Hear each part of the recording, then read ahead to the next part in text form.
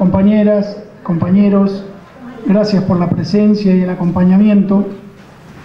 En este caso, yo hoy pensaba, ¿no? Eh, se larga oficialmente la campaña el 22 de octubre, se define algo muy importante para quienes creen que son elecciones donde no se elige nada, que no está en juego el Poder Ejecutivo, realmente se equivocan. Van a tener todos ustedes, este, ya saben que le toca trabajar también, van a tener ustedes un arduo trabajo, al igual que todos, que es la militancia.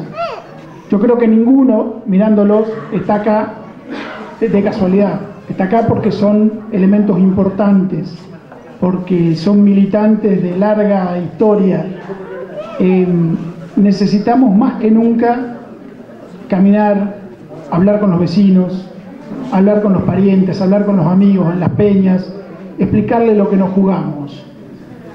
Es fundamental ponerle un freno a este gobierno. Realmente es un gobierno, y lo dicen las medidas que va tomando, no es algo subjetivo, es un gobierno para pocos, es un gobierno para ricos. Yo les digo, observen las medidas, quita de retenciones a la minería, quita de retenciones al campo, los subsidios nosotros sí nos los sacan y cobran tremendos tarifazos, pero las deudas a las empresas de luz y gas se las regalamos y hasta intentamos no cobrarle al correo. Para eso sí tenemos plata.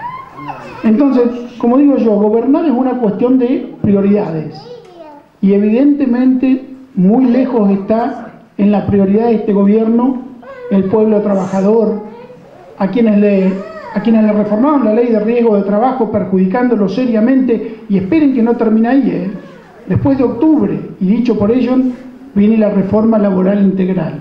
Agárrense porque se babean con lo que hizo Brasil. En Brasil ya no se trabajan ocho horas, se trabajan 12, por el mismo valor, claro, con menos vacaciones. No se negocia más con los sindicatos. Ahora tu contrato lo haces directamente con la patronal. Pueden contratarse trabajadores por un solo día, esto es Brasil hoy y este es el modelo que ellos están mirando enloquecidos. Entonces, compañeros, yo no quiero extenderme, solamente que quede claro para, para toda la militancia al momento de hablar con la gente, decirle que nos jugamos mucho, porque estas medidas que vienen y que van a tener que pasar por el Congreso, el único freno que se le puede poner es a través de los legisladores nacionales, provinciales, dispuestos a pararse de frente a este gobierno y decirle basta, dispuestos a mostrarle que nosotros sí pensamos en los que menos tienen, mostrarles que realmente no entendemos cómo se le puede quitar el remedio a los ancianos o, o la pensión a los discapacitados, Stanley prometió devolver y solo devolvió la del 2017, la de 2016 que son unos 100.000 casos más, se han olvidado.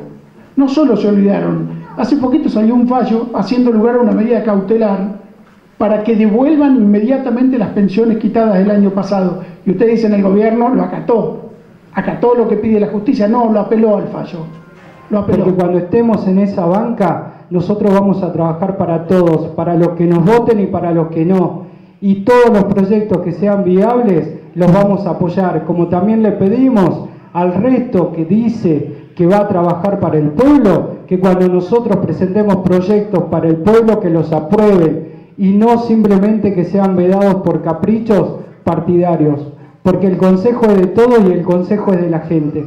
Así que compañeros, aprovecho esta oportunidad primero para decirles gracias. Gracias por permitirme estar encabezando esta lista. Gracias por acompañarnos a todos los candidatos de la lista, a toda la gente que trabaja con nosotros, porque detrás nuestro hay mucha gente trabajando y eso me consta, porque desde que pasó las paso que empezamos a trabajar. Estamos trabajando y vamos a seguir trabajando y después del 22 de octubre vamos a seguir trabajando en equipo, porque eso es lo que somos, somos un equipo. Así que muchas gracias y gracias Aldo por la confianza y vamos a trabajar por Cristina, por Aldo y por todos nosotros. Este tipo de políticas sociales y económicas este, no se puede este, aguantar mucho más tiempo a motivo de que tenemos, este, digamos, la sobrecarga eh, extra, digamos, de una semejante deuda que ya todos también saben eh, y que la vamos a tener que, que paliar después cuando en algún momento nos toque, porque nos va a volver a tocar, si Dios quiere, eh, por eso vamos, vamos a, a, regresar, por eso estamos acá, por eso estamos convencidos y vamos a trabajar para eso, todos, juntos, en esto que es unidad ciudadana, eh, digamos, si se quiere, un nuevo paradigma, porque hay mucha pluralidad hoy aquí, eh, y bueno, pero con los compromisos cada vez más, más firmes, así que este, bueno, no me extiendo más, muy agradecido a todos. Y también un poco este, que cada uno de los que están sentados allí se agradezcan, porque vuelvo a repetir, este, tomarse de venir este, a estar sentadito acá o a escuchar o, o, a que nos vean que estamos juntos, este, no es poca cosa, así que este, eh, vaya mi, digamos, mi reconocimiento a todos, nada más. Gracias, Flaco.